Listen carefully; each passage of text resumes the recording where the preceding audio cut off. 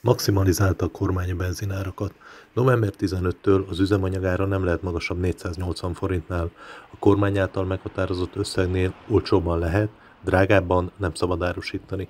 A rögzített árak a benzin és a dízel üzemanyagra vonatkozik egyelőre február 15-ig. Azt a kutat, amely átlépi a 480 forintos árat, be is zárhatják.